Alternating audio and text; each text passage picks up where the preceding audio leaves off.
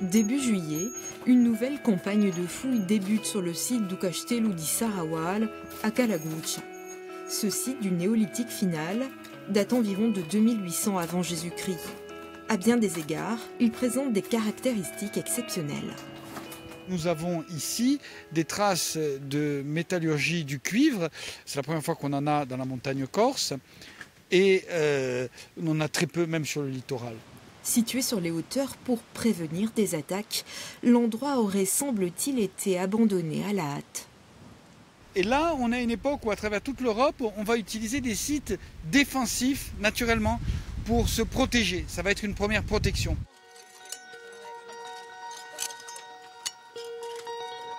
Cette période de la préhistoire a vu émerger l'agriculture, l'élevage et surtout la sédentarisation.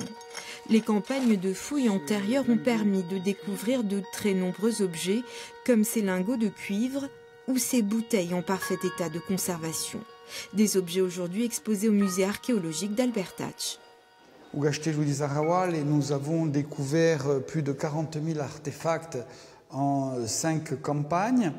Et nous avons ici par exemple un échantillon de pointes de flèches, armatures de traits perçantes, qui vont se développer à la fin du néolithique et qui vont être très performantes aussi bien pour la chasse que pour la guerre. L'occupation la plus ancienne de l'homme dans le Niol remonte au sixième millénaire avant Jésus-Christ. Le site d'Espilongue, connu sous le nom de l'abri albertine, correspond à cette époque du néolithique ancien.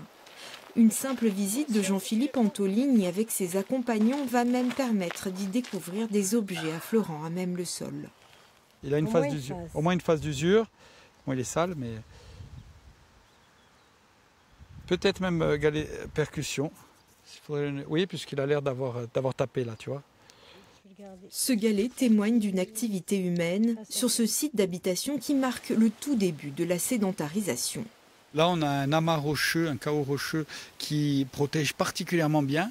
Et avec un peu d'imagination, si on, imagine qu'ils ont euh, mis des parois en bois, peut-être en torchis, et qu'ils ont euh, fermé cela, ils avaient une habitation où pouvait être euh, tout un groupe familial à l'intérieur pour passer la nuit. D'autres sites n'ont pas encore livré leurs secrets. C'est le cas du dolmen de Kalagouch, datant du deuxième millénaire avant Jésus-Christ. Des tessons de céramique ont été trouvés à proximité. Pourtant, cette tombe monumentale et collective n'a jamais été fouillée. Nous, malheureusement, euh, quelques régions ont été bien fouillées euh, parce que des archéologues étaient issus de ces régions, comme François de Lanfranc qui dans l'Altaroc. De nombreuses régions n'ont pas été fouillées parce qu'elles n'avaient pas d'archéologues. Donc c'est difficile de tirer un bilan de la préhistoire corse parce que nous manquons euh, de moyens et nous avons manqué d'archéologues depuis que l'archéologie moderne s'est mise en place. Le Niolou regorgerait ainsi de vestiges qui renseigneraient sur la préhistoire de l'île. Mais nous ne sommes qu'à l'aube de leur connaissance. Faute de moyens, sur 150 sites, seuls 7 ont été fouillés.